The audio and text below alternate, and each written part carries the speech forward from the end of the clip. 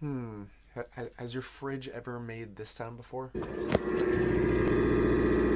Yeah, yeah that, that sound. The buzzing, constant buzzing.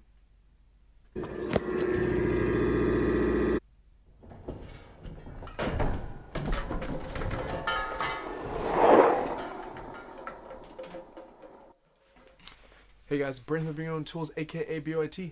Thank you for joining me, and today we are going to be working on fixing a refrigerator. Now, this is my refrigerator, and it is 10 p.m. and it is 50 degrees inside. I know the remedy. Let's get started. First off, the fridge that I'm having issues with is a Samsung RF267 series refrigerator. The issue with this fridge, which I've dealt with in the past, is that the radiator coils in the back of the fridge are completely frozen, which makes it so the fridge can't regulate the temperature properly, which is why the temperature in the fridge is so high, and why it's making this horrific noise. It's frozen over so bad that even the air ducts in the system has frozen over and made these nice little cubes. Yeah, look at that, really cute. In any case, we have to de-thaw this thing thoroughly. So first step, let's talk about materials. Grab a small heater if possible, some type of cup with baster, a heat gun or hair dryer, and a drill or screwdriver. Now with this refrigerator, you are able to hold down two buttons on the front display and actually turn off the cooling system, which you should do if possible. And because water and electricity don't mix, you want to make sure you plug it into a GFI outlet.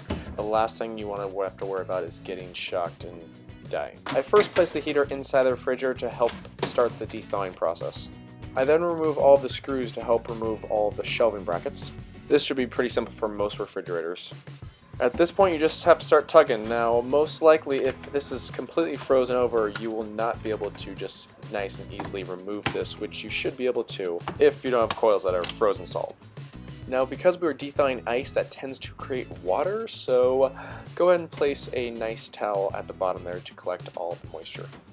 And again, I reiterate, please make sure you're careful with these electrical devices because the fact that, in all reality, I'm not a licensed electrician, and uh, yes, I don't want to be shocked, but I don't want anyone else to be shocked while doing this. So making sure that you're careful here and not to mix the two is very vital.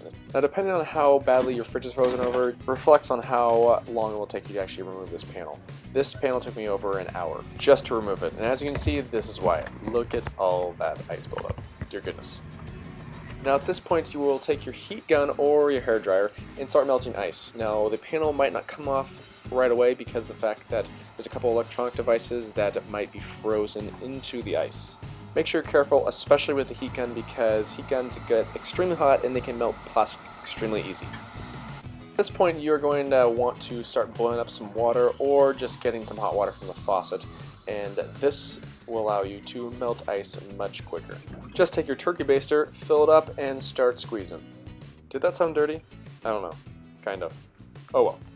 With the help of hot water, a heat gun, and you just ripping off large chunks of ice, this process actually should go pretty quickly. Just make sure you're careful while removing ice because one, there's a lot of sharp objects in this area, and two, there's a lot of items that are fairly easily easily breakable. So just FYI. As a side note, this is more of a temporary fix. I had to do this about six months ago, and it does last for a while. However, it obviously comes back, and there's probably more a deep-rooted issue with this fridge other than me just having to de-thaw And after another hour of my life wasted, you have this. Look at that. Nice and clean. Except for the fact that we have this little area down below here that is supposed to collect water and drain it out the bottom, but is solid frozen. What do we do? We take our baster. We remove the water that's sitting there and then we pour in nice hot water into it so it melts the ice below. With everything fully de-thawed, you're ready to reinstall your cover plate. Go ahead and plug in your electrical, snap in the panel, and you are back in business. Last step, of course, is reinstalling all of your shelving and hoping that all of your food has not gone bad. Now you can see in my nice little time-lapse video here all of my food products Please don't judge me. I have a lot of roommates. Yeah. Now as a side note, I know this is not one of my normal DIY videos, but it did require tools and it took me a while, so I'm hoping that in the future this will help someone out there that has the same similar problem. Oh, and finally, a working refrigerator is a beautiful, sexy beast to me.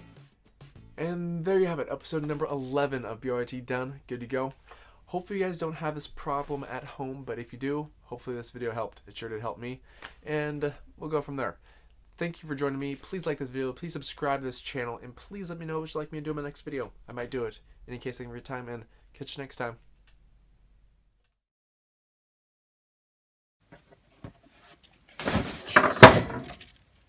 Whoops.